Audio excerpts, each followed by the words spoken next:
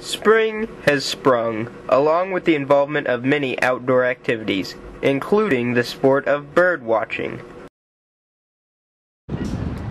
Bird watching, or birding, as the technical name goes, is the act of, of observing wild birds. And I like to bird because it's something I can do in my backyard or at a crowded park such as this with all of the little children around.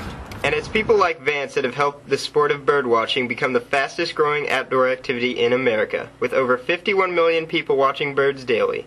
One avid birdwatcher had this to say. Yeah, I see a bird probably every day.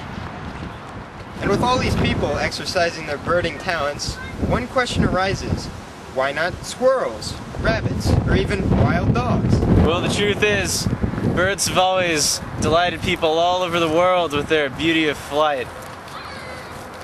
I do believe the ancient Romans thought that bird calls foretold the future. And I also believe modern science has confirmed this. The birds must be calling a cheerful tune because the future of birdwatching looks to be a bright one.